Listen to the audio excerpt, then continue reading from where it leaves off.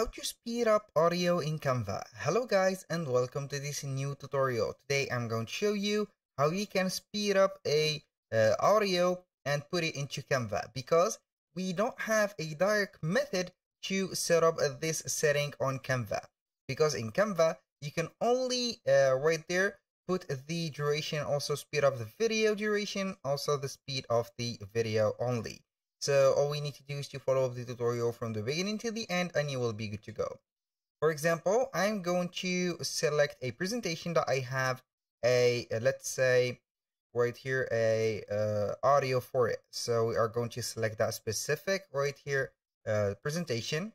So if you are going right here to the audio, we don't have a, a speed limit or a speed editor. So we need to get that specific audio before adding it to Canva. For example, you're going to get this specific audio, get that specific format.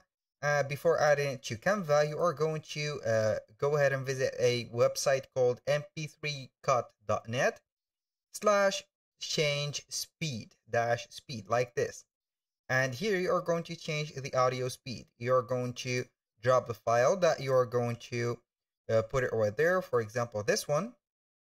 And as you can see, we have here uh, this little bar or progress bar that will let us here uh, change the speed of the specific audio. For example, if I want to make it a little bit faster, here we have the multiplicator and also we have the rabbit logo that means that we are going to speed up. In here, also in the reverse version, we have the turtle version that we are going to uh, expect for it to be slowing down the uh, audio. So we are going to click on here, put it on uh, to 1.85, then select the specific format uh, for here.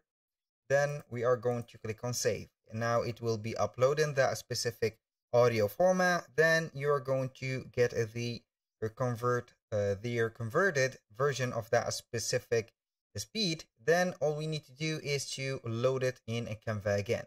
So right here we have the audio ready. We are going to click on save.